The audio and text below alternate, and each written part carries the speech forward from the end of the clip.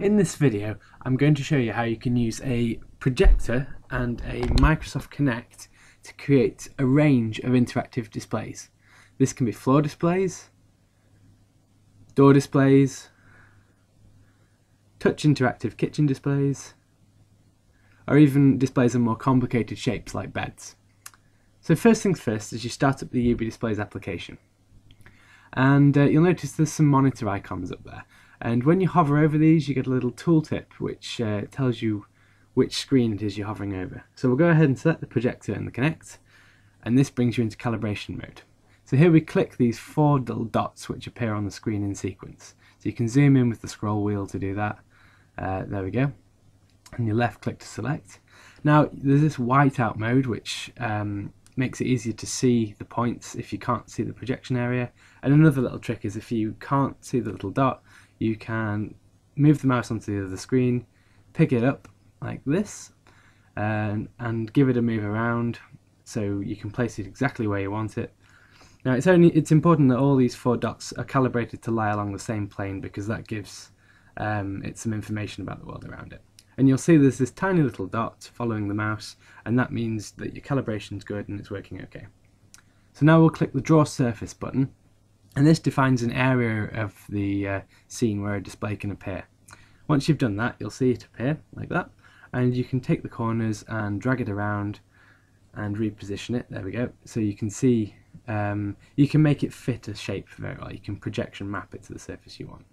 And surfaces are places where any content can appear. We're rotating it back the right way around now, and you can hold control to uh, move the whole thing at once. So the next step really from here is to take a piece of content. So we're taking any HTML file stored on the computer and we're just simply dropping it onto the surface. Now you'll see it's gone green there which means it's able to be used. When you hold it over you get a yellow border. There we go and that's it, that's done. That display is active and calibrated and ready to be interacted with. So there you go, you can see it being used now.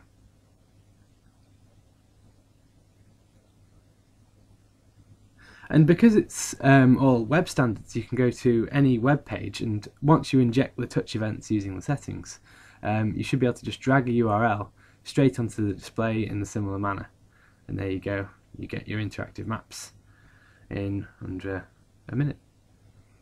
Now you might encounter a situation where you need to put a surface or display on something which isn't flat to the table. So in this case, what we're going to do is we're simply going to hit draw display again and draw out the display over the uh, middle of the unflat surface. Then we stretch it out so it fits it properly. There you go. And you'll see when on the screen it didn't quite line up properly. So when you do deploy some content on it, we're just uh, correcting the corners now, but yeah, when you deploy some content on it, like here, you'll notice that you get this sort of red line across it, and that means it's not working properly because um, those are touch points that it, it's getting confused with. And this is because of the parallax um, from the different heights. So you can hold down control and sorry shift and take the corners of that display and um, there you go drop them onto the correct corners as seen in the video feed and it works you can correct for those kind of errors the other situation you might encounter is if you want to separate the touch surface from the display itself. So again using the same technique, hold down shift and drag each corner to where you want it to be and then you should be able to touch, we've just done it below the display, touch below and off it goes. So that's all I'm going to show you in this video. I hope it helps you get up, and going and you make some cool things. Um, please contact me if you do, I'd love to see them. Thank you very much.